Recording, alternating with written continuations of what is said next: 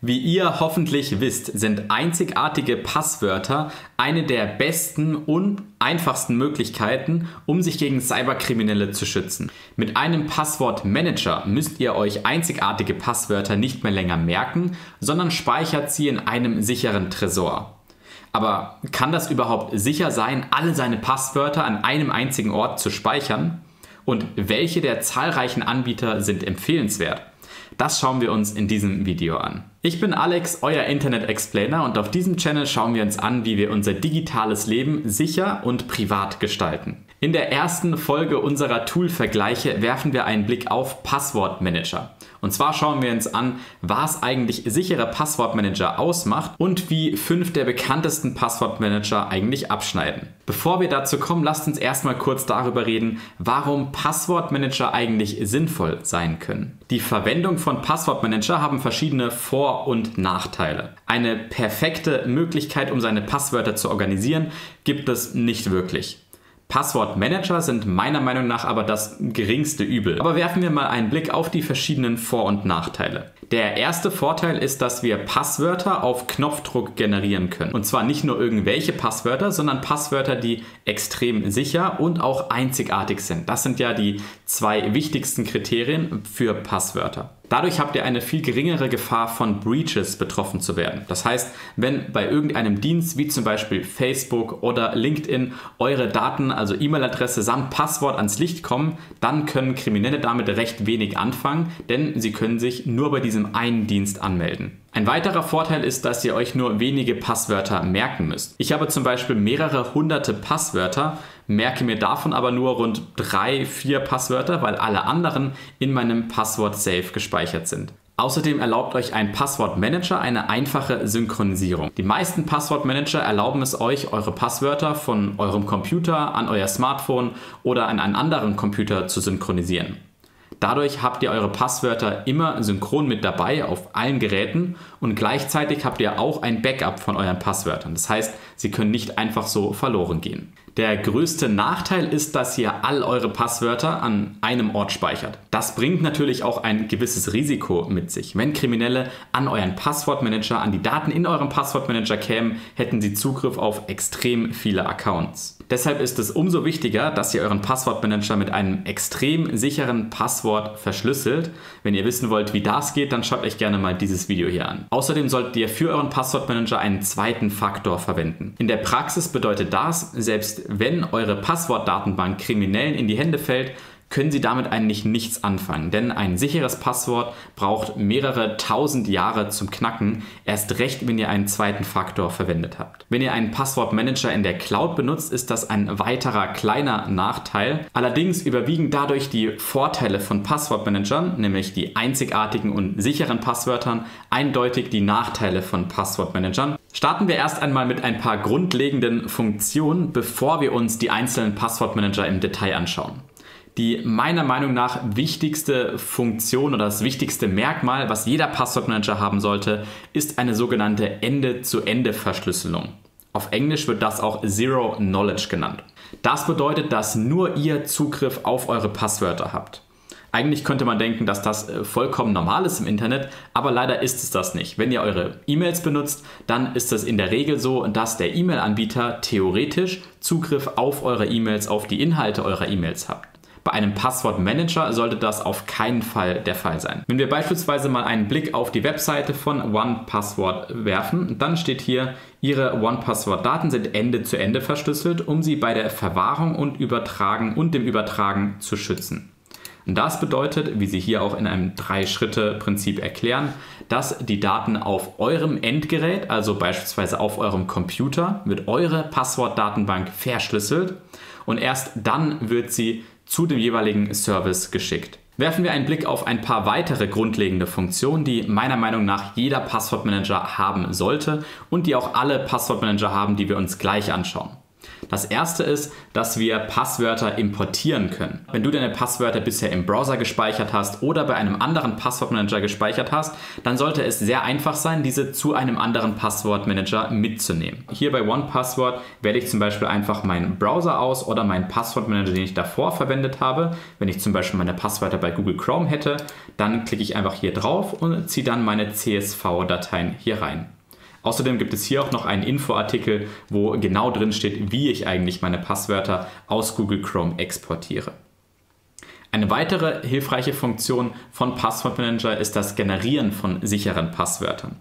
Werfen wir mal einen Blick darauf, wie das bei Bitwarden ist. Wenn ich hier auf die Erweiterung von Bitwarden draufklicke, dann habe ich die Möglichkeit, hier unten mir Passwörter zu generieren. Aktuell ist das Passwort hier 14 Zeichen lang. Ich kann aber auch einfach sagen, dass das Passwort 100 Zeichen lang sein soll und dann hätte ich gern auch noch Sonderzeichen mit dabei und schon habe ich ein extrem langes, zufälliges Passwort, was ich mir hier einfach kopieren kann und dann als neues Passwort verwenden kann. Außerdem sollte ein Passwortmanager die Möglichkeit bieten, über eine Erweiterung in deinem Browser direkt die Passwörter zu speichern und das idealerweise auch automatisch.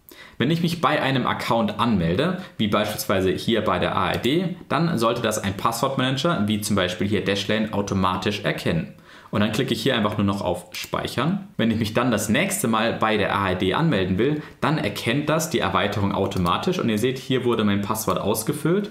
Und wenn wir hier mal auf die Chrome-Erweiterung draufklicken, dann sehen wir auch direkt hier hinterlegt, dass die Webseite gespeichert wurde. Das heißt, der Passwortmanager merkt sich, welche Zugangsdaten ich auf welchen Webseiten eigentlich verwende und das macht es auch extrem einfach und komfortabel, sichere Passwörter direkt automatisch auszufüllen. Natürlich solltest du deinen Passwortmanager mit einem sehr sicheren Passwort absichern, aber neben einem sicheren Passwort ist auch ein zweiter Faktor extrem wichtig. Warum das so ist, das kannst du dir gerne mal in diesem Video anschauen. In der Praxis bedeutet das jetzt konkret, wenn ich mich bei meinem Passwortmanager hier anmelde, dann habe ich mein Passwort hier richtig eingegeben und klicke auf mit Masterpasswort anmelden und jetzt will er aber noch einen zusätzlichen Verifizierungscode haben. Und der wird an meinem Handy alle paar Sekunden neu generiert. Das heißt, selbst wenn ein Krimineller Zugriff auf mein Masterpasswort hätte, könnte er sich nicht einloggen, weil er erst mein Handy bräuchte, wo sich meine Verifizierungscodes immer wieder neu generieren. Und das letzte grundlegende Merkmal von Passwortmanagern sollte sein, dass sie auf verschiedenen Plattformen funktionieren. Werfen wir mal ein Beispiel auf Bitwarden. Hier kann ich Bitwarden nicht nur an meinem Computer, an meinem Mac-Computer hier verwenden, sondern natürlich auch für Windows, auch für Linux. Dann gibt es Browser-Erweiterungen für, für eigentlich alle bekannten Browser und natürlich kann ich auch meine Passwörter mobil mitnehmen und es gibt Apps für iOS, für iPhones und für Google-Handys. Alle Passwortmanager, die wir uns gleich anschauen, sind auf den großen bekannten Plattformen verfügbar. Kommen wir jetzt zum spannendsten Teil des Videos und zwar dazu, welche Passwortmanager ich mir eigentlich angeschaut habe. Und zwar sind das LastPass, Dashlane, OnePassword, KeyPass und Bitwarden. Schreibt mir gerne in die Kommentare, wenn ich euren Lieblingspasswortmanager vergessen haben sollte. Meinen Recherchen nach sind das die bekanntesten Passwortmanager auf dem Markt. Wenn man sich beispielsweise mal Tests von Chip, äh, Heise oder äh, der Stiftung Warentest anschaut. Meine Auflistung hat natürlich keinen Anspruch auf Vollständigkeit. Es gibt sicher noch einige andere gute Anbieter da draußen und es ist auch kein kompletter Test, sondern es soll eher ein Vergleich sein, bei dem ich verschiedene Vor- und Nachteile hervorhebe, aber jetzt kein konkretes Ranking aufstelle und euch den allerbesten Passwortmanager da draußen vorstelle. Auch die integrierten Passwortmanager in den großen Browsern, also beispielsweise von Google oder den Apple Schlüsselbund, habe ich erstmal außen vor gelassen. Hinterlasst mir gerne einen Kommentar, wenn ihr mehr über die integrierten Passwortmanager von Google, Apple und Co. wissen wollt. Kommen wir zu unserem ersten Passwortmanager und zwar zu LastPass. LastPass ist oder war der wahrscheinlich bekannteste Passwortmanager auf dem Markt. Laut Statista war 2021 LastPass der verbreitetste Passwortmanager mit ganzen 21% Aber dieser Wert rutschte auf 9% runter innerhalb von einem einzigen Jahr. Und das hat auch einen Grund, und zwar hat LastPass eine nicht so gute Vergangenheit, wenn es um die Sicherheit geht. Also um das Wichtigste, was eigentlich einen Passwortmanager angeht. Dazu gibt es sogar eine eigene Rubrik bei Wikipedia, wo fast jährlich verschiedene Security Incidents, also verschiedene Sicherheitsvorfälle aufgelistet sind. Der wahrscheinlich größte Vorfall war letztes Jahr 2022, wo Kriminelle Zugriff auf sehr viele Passwort-Tresoren von LastPass-Kunden bekommen haben sollten. Dazu gibt es auch einen spannenden Artikel von Heise, wo sie das genauer aufgeschlüsselt haben. Aber auch hier gilt, LastPass hat Gott sei Dank eine Ende-zu-Ende-Verschlüsselung verwendet. Das heißt, wenn man ein sicheres Masterpasswort und einen zweiten Faktor verwendet hat, ist es im Prinzip unmöglich, dass diese Hacker mit aktueller Technik diese Passwort-Tresoren knacken können. Aber trotzdem ist es natürlich extrem unschön, wenn sowas bei einem Passwortmanager häufiger auftritt, was bei LastPass der Fall war. Und deswegen ist LastPass der einzige Passwortmanager von meiner Auflistung, den ich euch leider nicht ans Herz legen kann. Kommen wir zum zweiten Passwortmanager und zwar zu Dashlane. Was mich bei Dashlane überrascht hat, ist die sehr hübsche Oberfläche. Schauen wir uns mal an, wie Dashlane im Browser aussieht. Hier habe ich ein Fenster, wo ich alle meine Login-Daten habe. In meinem Fall ist das jetzt nur der Login, den wir vorhin bei ARD angelegt haben. Und hier auf der rechten Seite sehen wir dann eine Auflistung, was hier alles in, dieser, in diesem Login gespeichert wurde. Auch die Erweiterung für den Browser, bei mir ist das der Brave Browser, also ein Browser, der auf Chromium basiert, die ist sehr hübsch und ist aus meiner Sicht intuitiver, also einfacher verständlicher als bei vielen anderen Anbietern. Hier habe ich einmal meinen Tresor, den ich jetzt durchsuchen kann, beispielsweise nach ARD und dann wird mir direkt die, der ARD-Eintrag vorgeschlagen. Außerdem habe ich hier meine Autovervollständigung, also auf welchen Websites automatisch meine Anmeldedaten eingetragen werden, einen Generator für sichere Passwörter und noch ein paar weitere Funktionen. Die zweite Funktion, die ich euch bei Dashlane vorstellen will, ist die Dark Web Überwachung. Soweit ich weiß, funktioniert die nur, wenn ihr die Premium-Variante ausgewählt habt. Was Dashlane dann im Hintergrund macht, ist, dass sie bis zu fünf E-Mail-Adressen von euch nehmen und das Dark Web sozusagen auf diese E-Mail-Adressen überprüfen und schauen, ob irgendwelche Leaks, irgendwelche Zugangsdaten von euch da draußen im Netz herumschwirren. Wenn euch das interessiert, dann könnt ihr das aber auch ganz einfach selbst machen. Dafür müsst ihr aber nicht unbedingt bezahlen, denn dafür gibt es auch Dienste wie beispielsweise Have I Been Pwned, wo ihr dann seht, ob eure E-Mail-Adresse irgendwo da draußen im Darknet herumschwirrt, zusammen mit möglichen Passwörtern. Dashlane bietet auch eine kostenlose Variante, die ihr verwenden könnt. Allerdings ist der größte Nachteil dabei, dass ihr nur ein Gerät verwenden könnt. Wenn ihr dann upgraden wollt, also unlimitierte Geräte benutzen wollt, dann kostet das Ganze 2,75 Euro pro Monat, also ungefähr 30 Euro im Jahr, was es mir persönlich auch wert wäre, für die Sicherheit meiner Passwörter zu bezahlen. Kommen wir zum dritten Passwortmanager und zwar zu OnePassword. Wahrscheinlich ist das der älteste kommerzielle Passwortmanager und zwar gibt es den seit 2006. Zusammen mit Dashlane hat OnePassword aus meiner Sicht die hübscheste Oberfläche. Auch bei OnePassword werden meine Daten in der Cloud gespeichert, also meine Passwörter in der Cloud gespeichert, natürlich Ende zu Ende verschlüsselt. Und ich kann hier entweder über eine Webseite auf meine Passwörter zugreifen, aber auch über eine App, über ein separates Programm, das habe ich mir jetzt nicht hier runtergeladen, oder auch über eine Erweiterung im Browser. Schauen wir uns mal diese an, die sieht ziemlich ähnlich auch aus wie auch bei Dashlane. Eine Sache, die ich hier hervorheben möchte, ist, dass ihr nicht nur Passwörter speichern könnt, sondern ihr könnt auch Kreditkarten, sichere Notizen, Identitäten oder andere Informationen hier speichern, sogar auch euren Jagdschein. Also alles Informationen, die ihr vielleicht nicht einfach so als unverschlüsselte Notiz herumliegen lassen wollt, sondern die euch sehr wichtig sind. Auch ich mache das. Ich habe beispielsweise alle meine Kreditkarten in meinem Passwortmanager gespeichert, weil ich weiß, dass sie dort am sichersten aufgehoben sind. Das ist übrigens eine Funktion, die ist nicht nur bei OnePassword so, sondern die ist eigentlich bei allen Passwortmanagern mit dabei. Auch mit OnePassword kann ich meine Login-Daten automatisch ausfüllen bzw. sie werden automatisch gespeichert. Wenn ich mich irgendwo anmelden will, dann erkennt OnePassword automatisch, dass es sich hier um ein Anmeldefenster handelt. Und wenn ich jetzt hier mein Passwort eingebe, dann fragt er mich sofort, also will ich das speichern? Dann klicke ich hier auf Ja in OnePassword speichern. Sage ich ja, ARD passt, das ist meine E-Mail-Adresse. Dann klicke ich auf Speichern. Und wenn ich das nächste Mal hier auf der Seite bin und mein Passwort nicht manuell eintippen will, dann äh, klicke ich hier einfach drauf und sage Ausfüllen und dann ist das Passwort ausgefüllt. Eine Sache, die mir bei OnePassword besonders gut gefallen hat, die bei anderen Passwortmanagern nicht so zu finden sind, das sind die Security Audits von OnePassword. Security Audits bedeuten, dass externe Unternehmen damit beauftragt werden, dass sie das Unternehmen bzw. die Technologie hinter dem Passwortmanager prüfen und schauen, ob diese sicher sind und ob die versprochenen Dinge auch eingehalten werden von dem Passwortmanager. Das heißt, ihr müsst euch bei OnePassword nicht darauf verlassen, dass sie einfach nur leere Versprechungen abgeben, sondern durch diese externen Audits wird von anderen Unternehmen bestätigt, dass sie sich auch wirklich an das halten, was sie eben sagen. Hier sieht man, dass sie sich allein im letzten Jahr mehr als zehnmal auditen haben lassen. Und zwar bezieht sich das auf verschiedene Funktionen, auf verschiedene Clients, auf verschiedene Programme, auf verschiedene Technologien, die so im Hintergrund laufen.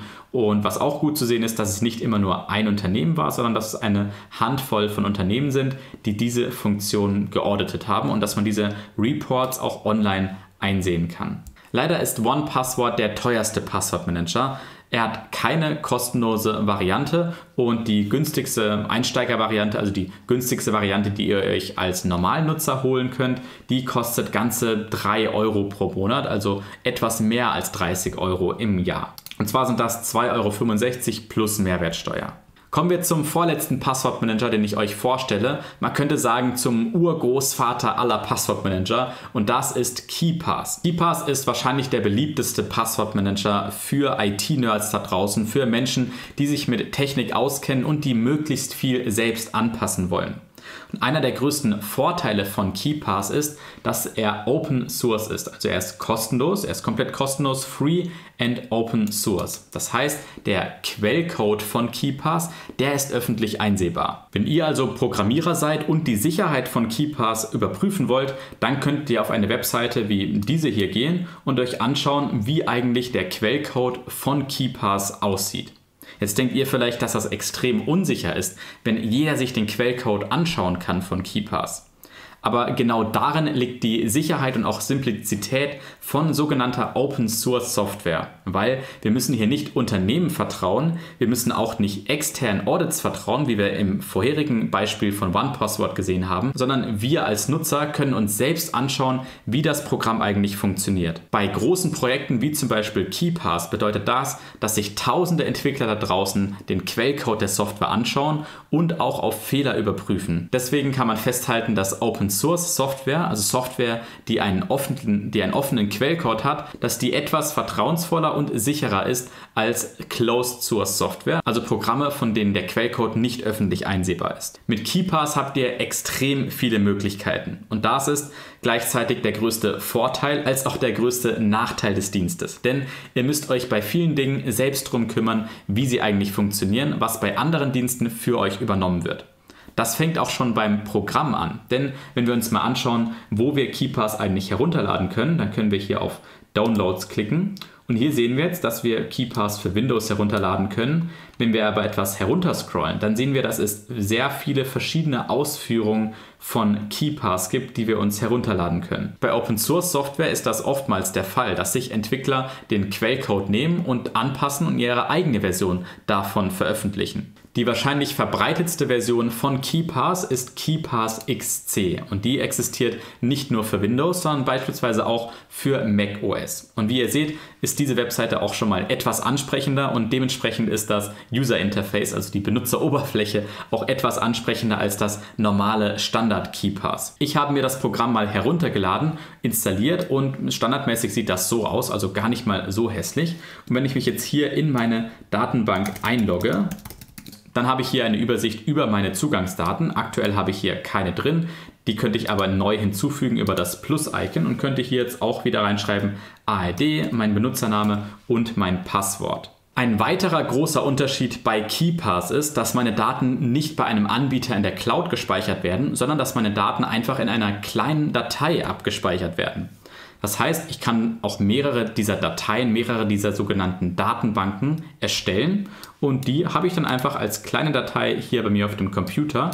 Bei mir ist die jetzt in meinem Fall nur ein Kilobyte groß, also extrem klein und dann kann ich mit dieser Datenbank machen, was ich will. Das heißt aber auch, dass ich selbst dafür verantwortlich bin, dass diese Datenbank zum Beispiel gesichert wird, damit, wenn meine Festplatte beispielsweise den Geist aufgibt, ich nicht den Zugriff auf alle meine Passwörter verliere. Was deshalb viele machen, ist, dass sie sich selbst eine Cloud-Synchronisation einrichten, also dass sie beispielsweise diese Datei hier in ihrer Cloud, also beispielsweise bei Nextcloud oder Google Drive hinterlegen und dann auf einen anderen Computer synchronisieren, in die Cloud synchronisieren oder auf ihr Handy synchronisieren. Wenn wir uns jetzt mal KeePass XC anschauen, dann sehen wir, dass es nur Clients, also nur Anwendungen für macOS, Windows und Linux gibt. Aber wir wissen ja, es gibt sehr viele verschiedene andere Clients für KeePass. Das heißt, wenn wir nochmal zurückspringen, dann können wir sehen, dass es auch für Android sehr viele andere Clients gibt, die wir herunterladen können. Und übrigens gibt es auch für KeyPass XC eine Browser-Erweiterung, die ich mir installieren kann. Und die funktioniert dann ähnlich wie auch die Browser-Erweiterung von den anderen Passwortmanagern. Das heißt, wenn ich mich anmelde, dann fragt er mich direkt hier oben, hey, willst du das Passwort speichern? Dann sage ich ja, ein neues Passwort anmelden. Und dann ist das Passwort hier in meiner Browser-Erweiterung hinterlegt und wurde automatisch in meiner Datenbank hier gespeichert. Kommen wir zum fünften Passwortmanager und zwar zu Bitwarden. Wenn ihr sagt, das mit dem Open Source von KeyPass, das hört sich interessant an, weil ich maximales Vertrauen habe durch den offenen Quellcode. Aber bei Bitwarden stört euch, dass das Ganze etwas kompliziert ist, dass ihr euch um zu viel kümmern müsst, dann könnte Bitwarden für euch interessant sein. Denn auch Bitwarden ist Open Source, wie wir hier sehen. Also wir können uns beispielsweise anschauen, Mensch, wie ist denn der Quellcode vom Server? Dann klicken wir hier drauf, werden zu GitHub weitergeleitet und könnten uns hier den Quellcode anschauen. Das ist nicht für uns als Normalos interessant, aber eben für ganz viele Entwickler da draußen, die den Quellcode sicherstellen wollen.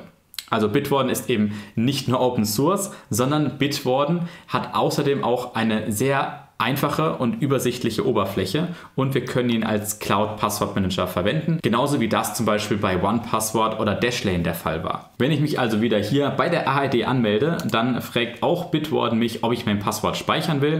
Ich sage, ja, ich will das speichern. Dann ist es hier hinterlegt. Ich sehe hier alle Informationen dazu und ich habe auch eine Web-Oberfläche, wo ich jetzt das Passwort hier sehe. Meine Datenbank muss ich nicht selbst verwalten oder selbst absichern, sondern das ist alles bei Bitwarden in der Cloud gespeichert. Und das Schönste bei Bitwarden ist, dass er sogar komplett kostenlos ist. Es gibt zwar bezahlte Accounts, beispielsweise für Unternehmen oder auch für private Nutzer, aber wenn du die kostenlose Version hast, dann kannst du nicht nur unbegrenzt viele Passwörter speichern, sondern du kannst auch unbegrenzt viele Geräte verwenden. Das heißt, du kannst deine Passwörter von deinem Desktop-Computer an dein Tablet, an dein Laptop und auch noch an dein Smartphone synchronisieren und hast sie also immer mit dabei. Wenn du dich technisch ziemlich gut auskennst oder einfach eine neue Herausforderung haben willst, dann könntest du Bitwarden sogar auch selbst hosten. Das würde ich dir aber wirklich nur empfehlen, wenn du viele Stunden Zeit hast und wenn du technisch gutes Vorwissen hast, denn wie du siehst, ist das Ganze nicht so einfach. Aber es ist sehr interessant, wenn du die ultimative Datenhoheit haben willst und beispielsweise deine Passwörter bei dir im Keller auf einem eigenen Server speichern sein willst. Jetzt habt ihr also einen Überblick über die bekanntesten Passwortmanager da draußen. Mich würde jetzt interessieren, habt ihr schon einen Passwortmanager und wenn ja, welchen? Schreibt es gern unten in die Kommentare und falls ihr noch keinen Passwortmanager habt, dann wählt doch einfach einen dieser Passwortmanager aus und richtet ihn mal ein. Ihr müsst ja nicht gleich euer komplettes digitales Leben umkrempeln, aber einfach mal fünf oder zehn Passwörter in den Passwortmanager übertragen und zu schauen, wie das Ganze funktioniert. Denn meiner Erfahrung nach dauert es nur wenige Minuten, bis man so einen Dienst eingeht eingerichtet hat und er spart euch nicht nur Zeit, sondern viel wichtiger, er gibt euch natürlich auch deutlich mehr Sicherheit, weil ihr sichere und einzigartige Passwörter speichern könnt. Abonniert gerne den Kanal, wenn ihr weitere Tool-Vergleiche wie diesen hier sehen wollt und ich freue mich, euch dann im nächsten Video zu sehen. Macht's gut!